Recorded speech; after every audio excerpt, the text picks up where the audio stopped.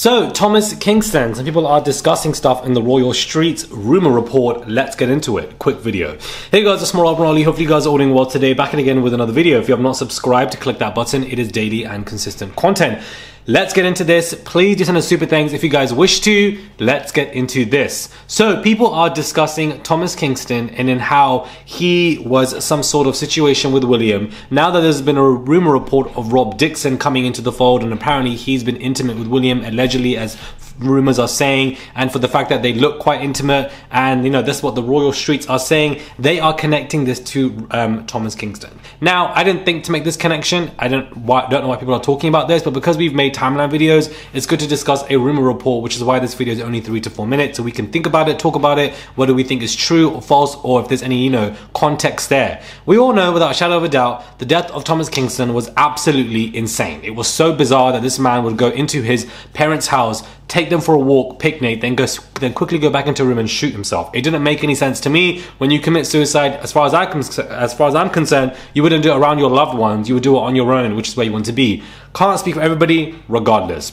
But now they're saying Royal Streets that William and Thomas were actually linked in some kind of way, and Rob Dixon was somewhat in the fold, and that you know therefore he wasn't linked to Thomas's um, to Thomas's passing. Now we know the fact that there were several reporters saying that William is not involved, which we didn't even care about or asked.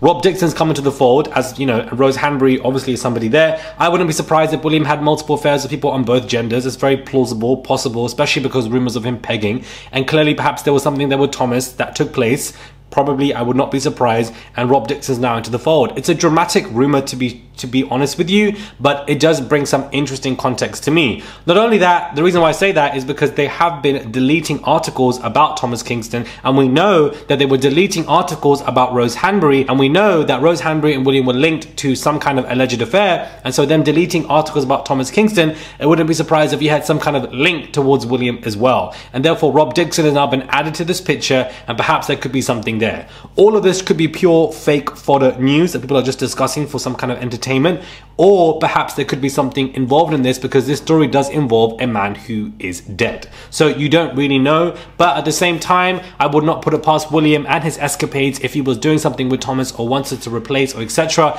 This man is the heir to the throne. Um, ignorant and powerful as he can be, so much so that he replaced Camilla's people on the paying toll because he wants to do so, and this man will do whatever he wants to do when he becomes the, you know, the heir to the throne. So I feel like that ego trip probably helps him put Kate in place, if you know what I mean. And so I would not be surprised if, you know, he wanted to alienate or, you know, eradicate Thomas and he had another lover around because Thomas was going to say something or etc. Those who think that Thomas and Kate were linked romantically, I don't believe that. I think that's too easy to believe. I definitely don't. And without being disrespectful, Lady Gabriella Windsor returning and seeing everybody at the matches and events to me was a bit interesting because it's like, how quickly are you just around everybody again, having so much fun? I don't know. It just seemed a bit odd to me.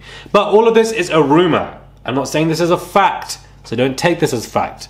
And maybe you guys can comment down below and disagree with what I'm saying. Or maybe you guys uh, can agree. Or maybe you guys can, you know, where are you guys going with this? Because I don't know. I'm seeing people discuss it. Because those articles being deleted, we know that as a fact. Him and his death being suspicious, we know that as a fact.